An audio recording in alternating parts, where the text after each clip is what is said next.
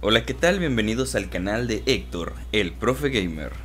En esta ocasión les voy a explicar las actividades que se deben hacer para la carpeta de experiencias del día viernes 15 de mayo 2020. Al parecer hoy la subieron mucho antes, así que pueden aprovechar si están viendo el video un día antes, aprovechar toda la tarde para hacer las actividades y el día de mañana pues ya podrán descansar.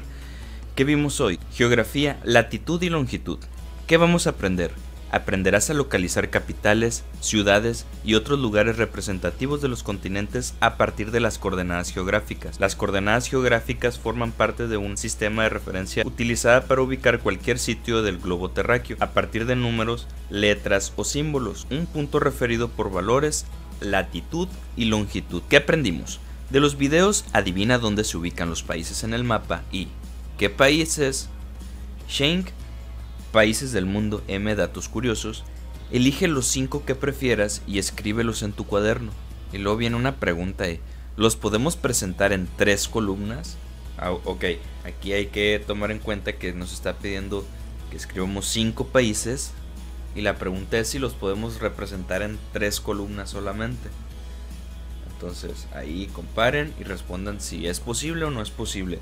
Y aquí ya nos viene la lista que mencionan en los videos. España, Alemania, Rumania, Polonia, Grecia, Irlanda, Venezuela, Perú, Paraguay, Costa Rica, Ecuador, Uruguay, Mónaco, México, Mongolia, Madagascar, Marruecos.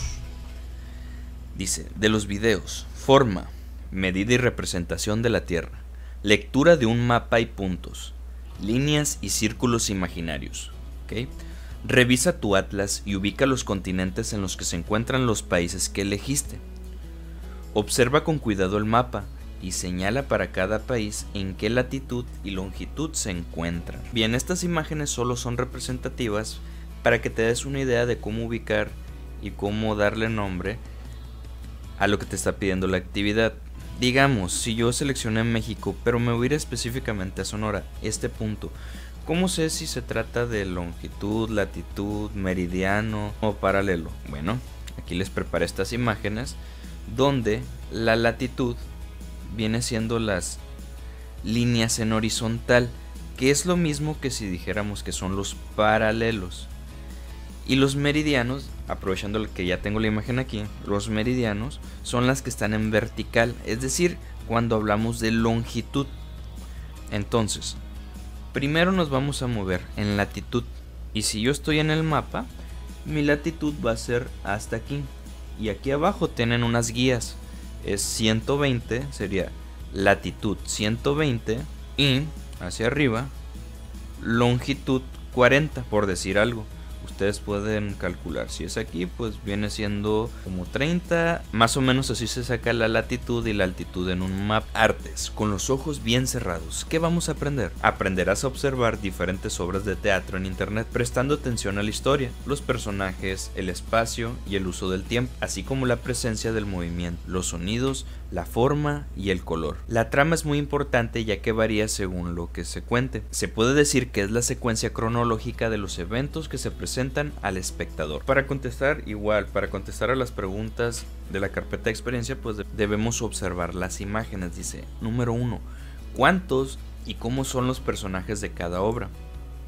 Bien, esta es la del teatro Kabuki, Obviamente aquí pienso yo que no importan las personas que están hablando porque están comentando sobre este teatro, pero el personaje que saldría a la escena viene siendo esta mujer. Vitamina Z sale este personaje que nos está contando la historia del lobo y la oveja. Y aquí la muerte sale este títere, sale este personaje que es la muerte y sale este otro personaje.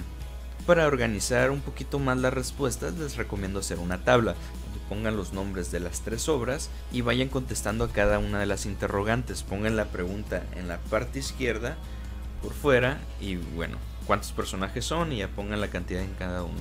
Y luego, cómo son los personajes en cada obra y los describan.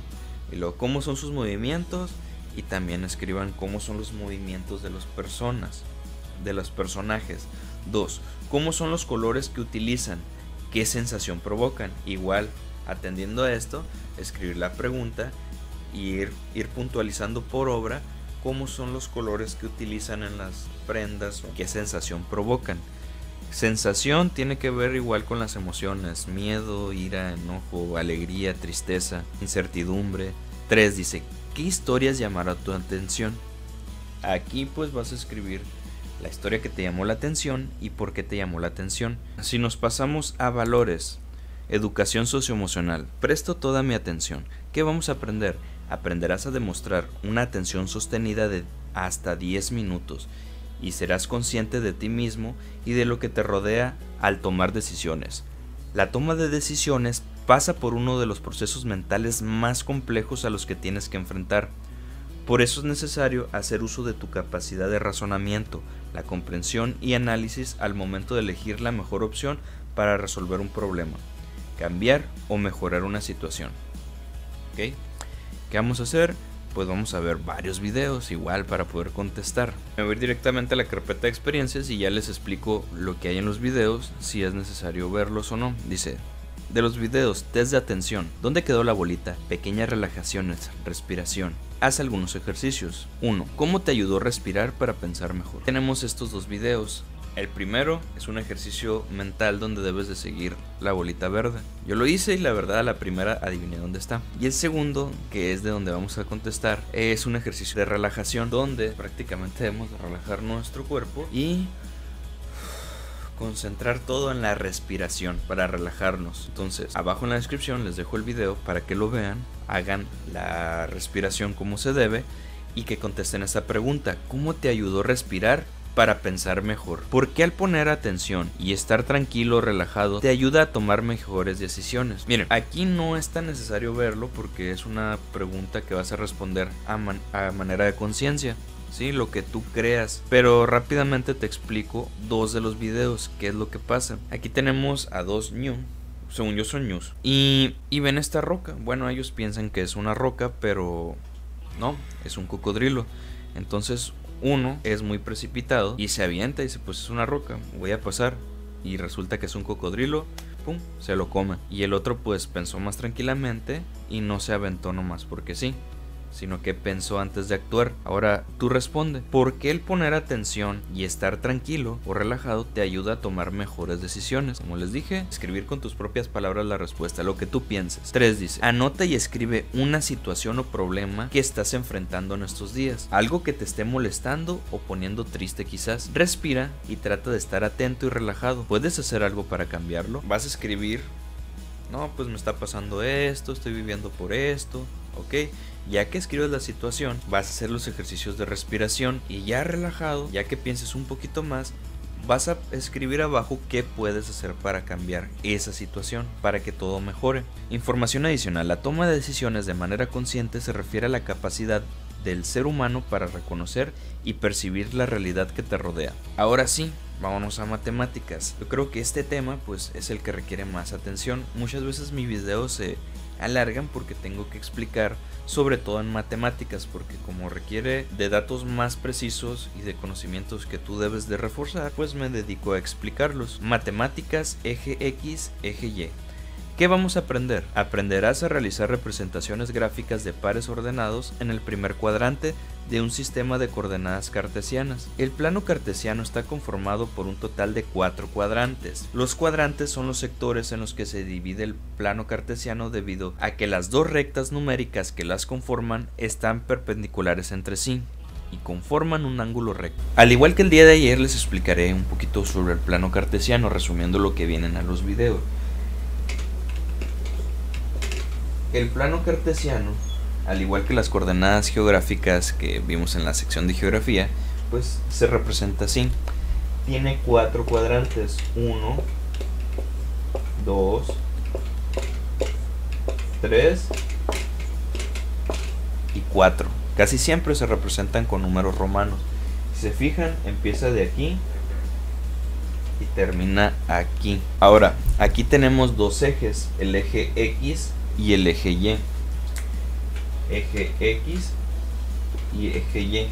Toda la línea. Esas líneas no pertenecen a ningún cuadrante porque es la línea divisora. Ahora, este puntito de aquí en el medio, donde se une Y y X, se le llama origen y se representa con 0, 0.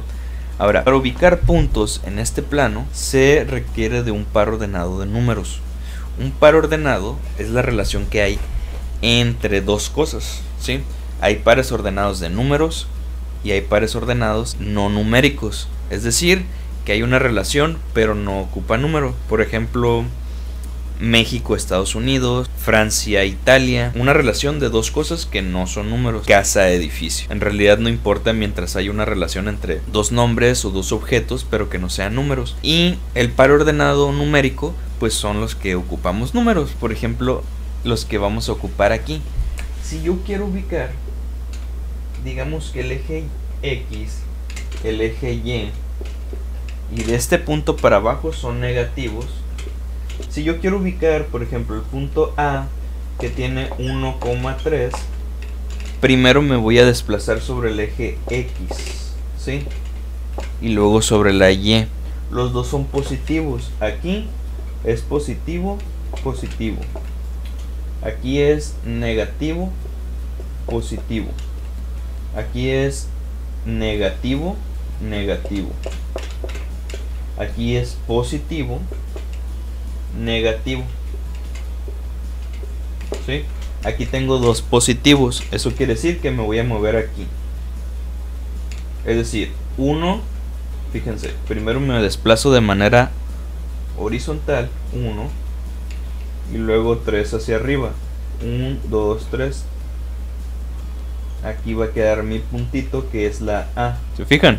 Ahora, si yo tuviera, si mi B dijera menos 4, 3. Si fijan, tengo un negativo y un positivo. Menos más. ¿Cuál tiene menos más? Acá. Va a estar por aquí ubicado. Vamos a ubicarlo. Menos 4. 1, 2, 3, 4. Aquí voy. Y luego 3 positivo hacia arriba. 1, 2, 3. Más o menos por aquí va.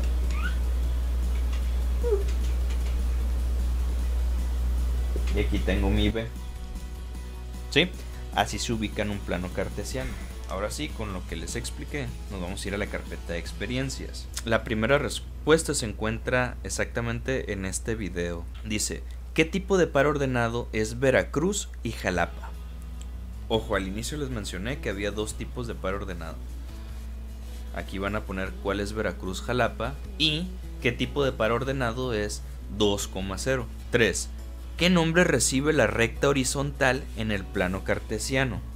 Es decir, esta que puse aquí. ¿Cómo se llama? Ya se los mencioné. Y dice 4. ¿En cuántos cuadrantes está dividido un plano cartesiano? También ya se los mencioné. Hay que escribirlo ahí.